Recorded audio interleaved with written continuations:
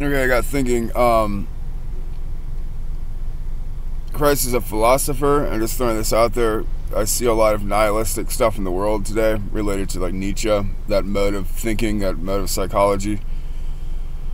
Uh, let's say, and I'm not advocating for any belief here. What I'm advocating for is just to think about things different and keep an open mind. Um, view Christ as a professor, and on the the professor's writing two plus two equals four on a chalkboard or a, or a dry erase board. Everybody knows that two plus two equals four. Christ's message: uh, treat others how you're going to be treated. That's the gist of it. Um, we all know that the best thing, one of the best things in life, is to treat others how you're going to be treated. Because uh, you know, you, everybody knows kindness fucking feels good. It feels good to be treated with respect you know, to to treat others how you're going to be treated. You know, nobody wants to be treated like a piece of filth or a dog or something. You know, we treat homosexual people like they're the same as us, that straight people, because they're the same as us. They're not any different. That's just their sexual preference. Um, you treat other races as, I mean, I have an epidermis. African Americans have epidermises, or epidermis. I don't know how you say that. Why wouldn't I treat them the same as me? It's just a fucking skin color. African Americans just have more melanin in their skin. Um, so you start putting these into context. You know, it feels good no matter what your background, racial, sexual orientation, religious, spiritual affiliation, or lack thereof, to treat others as you want to be treated. So that Christ's message can be verified over and over and over again.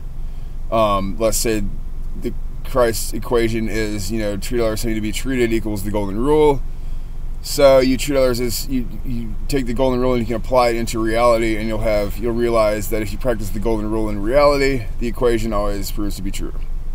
So in that sense, I'm not advocating for any of the other religiosity, the dogmatic stuff that we see within the, some of the church, um, or some of the more fringe things associated with that. I was raised non-denominational Christian. I've been water baptized and born again, anointed in oil, and all that stuff when I was younger. I don't identify with any one path now. I'm just spiritually open.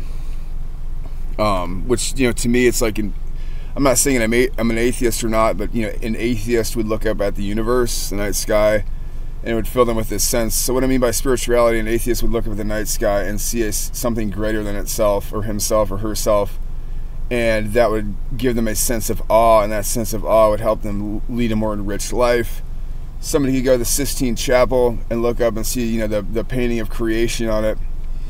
And that could give them a sense of awe, a sense of that there's more to life than just this mortal shell, this mortal flesh. So, you know, that's that's really all I'm trying to say is um that Christ message, you know, you really can't if you can see it with the other stuff with goddesses, um, this message, the golden rule. I mean, Google how many religions have the golden rule dispersed through it or through them so you start putting these into context, uh, you know, that seems, I can prove that 2 plus 2 equals 4, that's scientific method verifiable.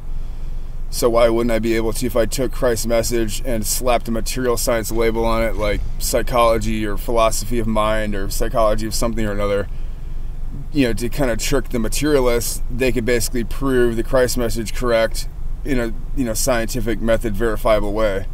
So just want to throw that out there. So religion's not dead. It's just maybe what's dead is our ignorance and how we view certain things, or maybe what needs to die is our ignorance and how we view certain things.